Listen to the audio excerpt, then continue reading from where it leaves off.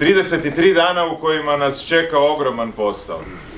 Na izborima koji su u stvari najvažniji za Hrvatsku od 2000. godine do danas.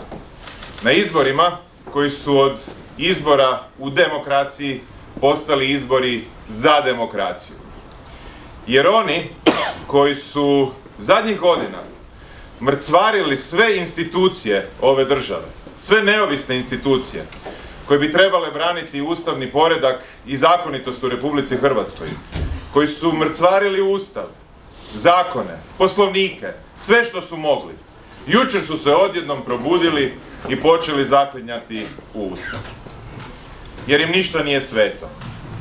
Jer je to takva ekipa koja nije u stanju smisliti ništa konkretno i ponuditi hrvatskim građanima na ovim izborima osim da uzme novac svih poreznih obveznika i dijeli ga šakom i kapom kao da je njihov, kao da je izrastao na grani, kao da su ga iz svojeg vlastitog džepa izvadili. I time financirati svoju izbornu kampanju.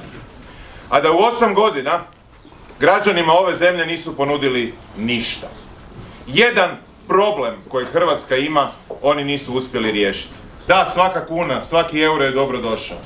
Ali daj onda problem riješi trajno i sustavno da ljudi mogu normalno i dostojanstveno živjeti. A to HDZ nije u stanju.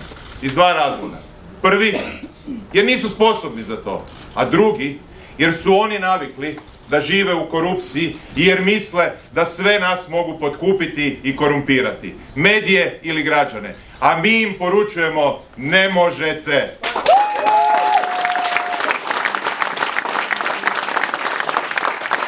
Oni jako dobro znaju šta je za nekoliko tjedana, za samo nekoliko tjedana, šta je u pitanju.